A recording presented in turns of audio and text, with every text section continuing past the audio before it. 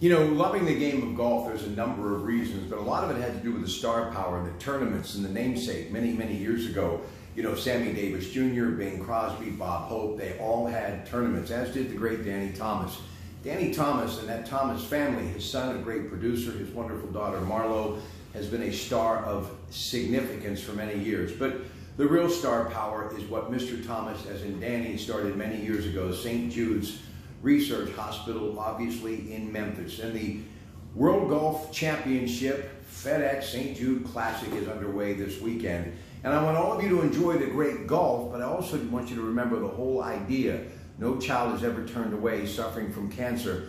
I've always been a big proponent of St. Jude's, and a lot of it just simply had to do with my love of Danny Thomas. But I'm sure he'd be the first to say, whatever it takes, do what you can and listen to what Marlo says from time to time. I'm sure that many of you have seen those national commercials on televisions to promote what they do.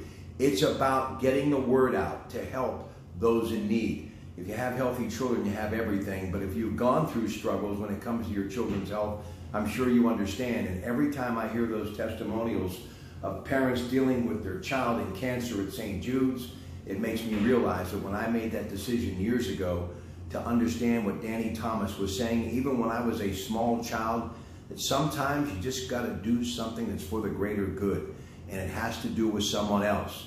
And you know what? You pay it forward, and it always comes back tenfold. So enjoy the golf, Golf Channel, Comcast, of course, the coverage, but never forget the true meaning of St. Jude's, the research hospital, Memphis, Tennessee, and children and families dealing with cancer, and how because of your generous support, they can continue to help. Have a great day from the home office in Manaca and your Pratte Pack.